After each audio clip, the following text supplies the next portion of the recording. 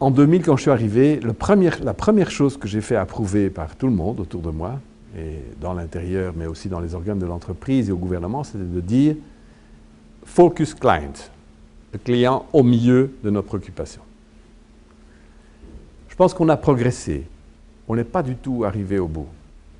Et aujourd'hui, pour de mauvaises raisons, il y a dans notre environnement des gens qui disent oui, mais le client, non, ce sont des usagers, ce sont des, des, voyageurs.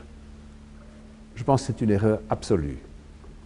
Si nous voulons convaincre 50% de la population qui aujourd'hui est en voiture et qui ne veut pas venir chez nous, qu'on peut les accueillir avec un bon service, la première chose qu'on doit faire, c'est leur dire, vous êtes un client.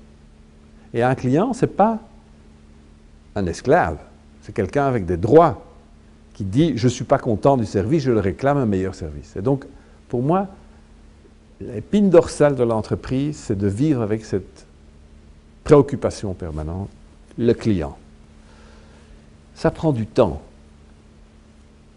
Mais on sera une vraie entreprise de service quand tout le monde dans sa tête, même les techniciens le plus loin du client, auront dit ce qui m'importe, c'est que demain ça roule, que ça roule bien, que, que les bus soient à l'heure, que les trams soient à l'heure, que les métros soient à l'heure, que la, qualité de propreté de notre tram soit là. Donc que tout le service, ces petits détails qui font qu'on est tout d'un coup content, parce qu'on est entouré d'un hiver convenable, efficace, ça c'est le cœur du métier.